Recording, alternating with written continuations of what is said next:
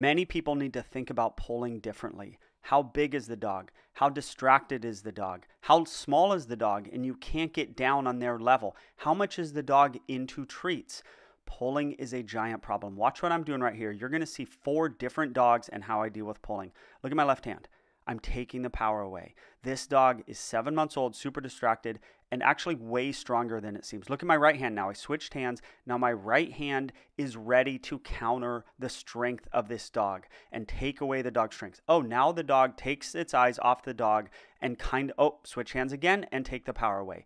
These are, I'm not going to call this a trick, but this is something that many people need to learn because the normal, oh, I'm going to do Joel's I'm going to put this dog. There's a reason I didn't put this dog on the leash and give the dog a down inside correction. One, it was too distracted to understand it.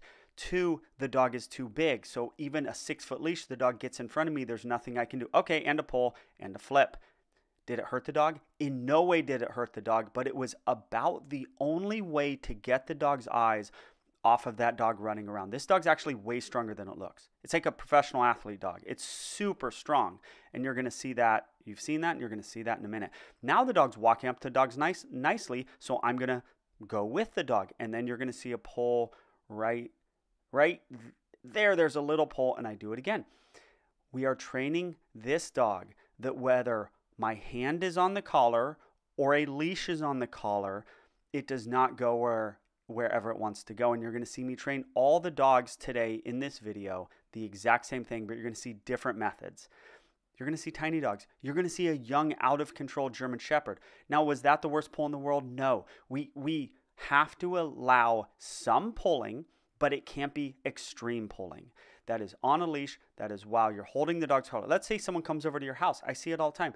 People, someone stands 20 feet into the, there, too much looking at the dog. We need to set the tone a little bit. And now the dog sits and now the dog is calm. People need little tricks like this. So, someone comes to your house, you're 20 feet in your house, husband or wife opens the door, the other person has the dog in the back, and the dog just pull, pull, pull, never takes their eyes off the guest coming over, then they let the dog go. How about you do this butt touch method? You get the dog a little bit on your page in the house, then you let the dog go, and it's it's chill by about 50% once you let the dog go. How about use that method for that? How about when you're, anytime you're holding your dog's collar, if the dog doesn't take its eyes off the stimulus or the trigger, the thing, the person coming over, the other dog, it will bound up to that thing with the same energy as if you did not ever hold your dog back. You holding your dog back does nothing if the dog doesn't take its eyes off the stimulus, as I call it, okay, or off the trigger. And you're going to see that in this video. Now, this dog was great with dogs. It doesn't mean this dog can fly up to every single, it's too big to do that. It's too young to do that. Dogs and people are not going to like it. So there had to be that.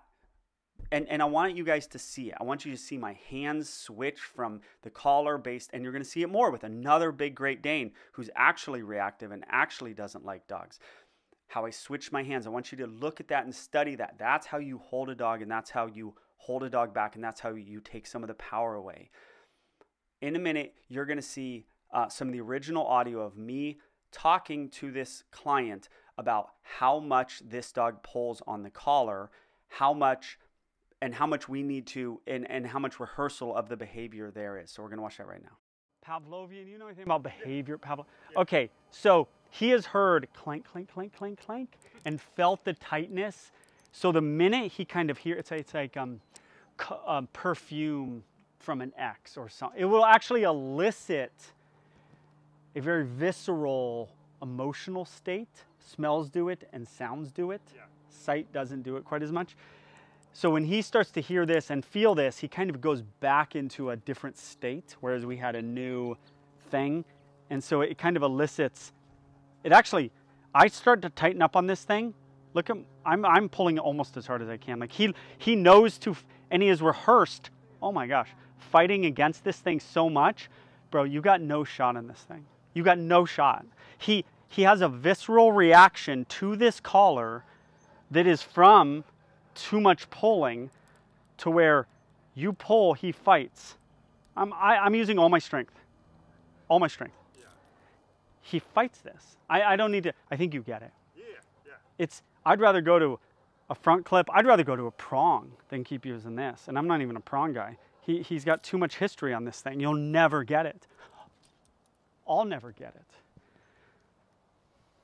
You got to change something. Yeah. I mean, even this. Yeah. It's such, it's such a history of doing this. We got to get that history out of his head. Mm-hmm. Using the same collar, the dog pulling on the same collar, you have to change the stimulus. You have to switch up the collar. Go to a gentle leader, go to a front clip, go to a prong, go to something to change the history. The next video you're going to see is a tiny dog that also has a history of pulling, and you're going to hear what I say to the owners. We are not going anywhere. I could care less where this dog wants to go. Now she's standing, but you can't do it on the collar.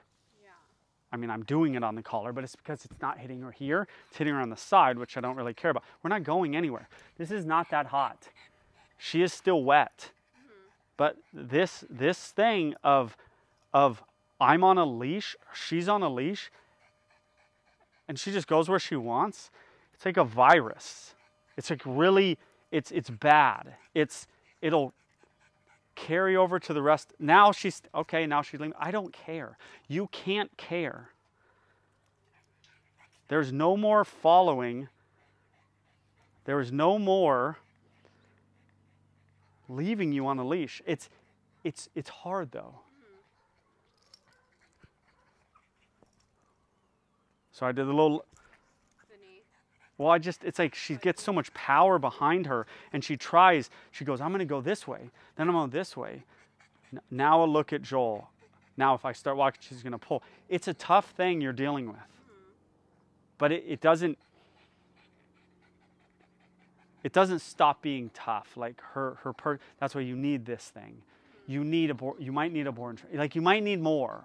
Okay. It ain't getting fixed today. It's too much.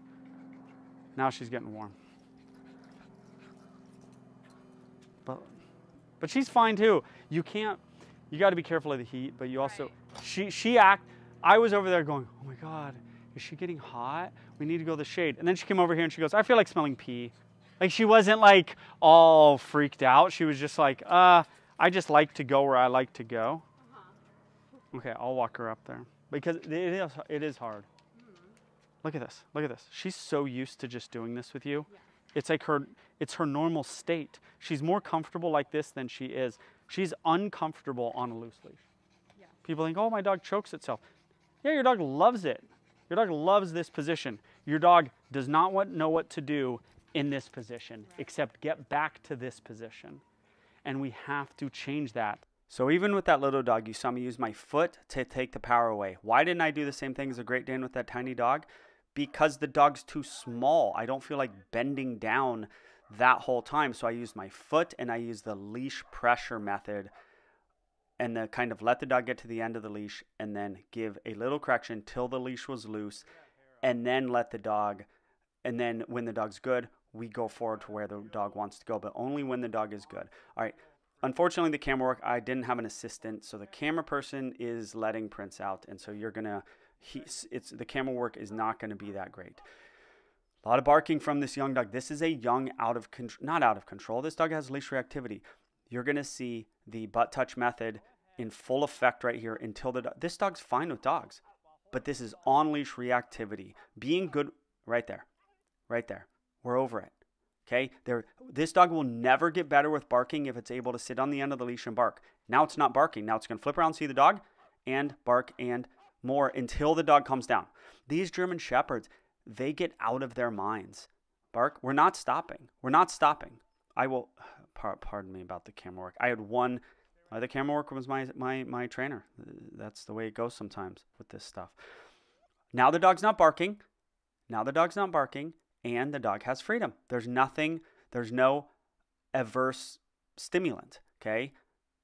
And the dog is making it look at i'm ready though. Dog making the way to prince. At any point if the dog barks the same thing is going to happen. Can i do i expect you to walk down the street and do this? I do not. But there might be times when you have to stop and do this. Oh dog's being good.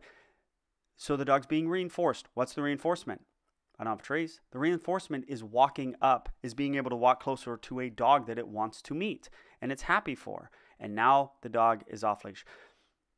I helped this dog in that the dog was just freaking out and it wasn't able to freak out over and over and over again for the first time. If this dog was on the end of the leash, it would have been very difficult. All right, big Great Dane. Look at me. This is a polar, and this dog is super distracted by other dogs. Ne- Seven year old dog had, I don't think, ever really met another dog. Eh, it's a rescue. She rescued it at like a year ago. Great. All these owners were awesome. But, oh, the dog hadn't met a dog in its years. Yeah, because she got it at six years old. Okay. No hate for any of these people. Look at me. Dog's too big. Dog, I have to have that right hand ready. I, I could get pulled over. And forget even that, I probably won't get pulled over. I have no recourse if the dog is on a leash three to six feet in front of me. I have no recourse if the dog is at all in front of me pulling. The dog has to be to the side of me. I have to have that right hand ready because the dog isn't going to look at me for treats. The dog isn't going to feel a leash correction. It doesn't care. We have to do something else. So this is every single dog you've seen today. You've seen my my hand or foot kind of butt touch to get the dog flipped and take the power away method. And I'm doing it with this dog too. As it meets dog, look, I'm ready. I'm ready. I'm ready because I have no. It's there's too much power behind this dog. There's too much power. It pulls. I'm just giving a little pressure with that right hand. And we're to, but if this dog lunges and I'm not to its side and I don't have that right hand, it's going to get, it's either going to pull me over it's going to get two feet, two feet from that dog. So I have to have this power. It's like power steering for you folks who remember non-power steering cars. This is now power steering. The gentle leader is power steering. Okay. This method of my hand being next to the dog and touching the dog differently is power steering doesn't really know dogs. Okay, so we're doing this and getting to know dogs, getting to know dogs, not being nice. And pull the dog away and says, I want to go with the dog. It doesn't matter what this dog wants. And then flip sides. Watch me flip hands. Now I'm on the other side. I got to use the other hand.